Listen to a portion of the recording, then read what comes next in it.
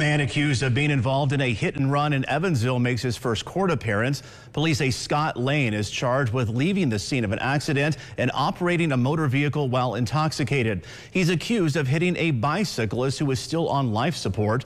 Police say they used witness descriptions and public safety cameras to locate him.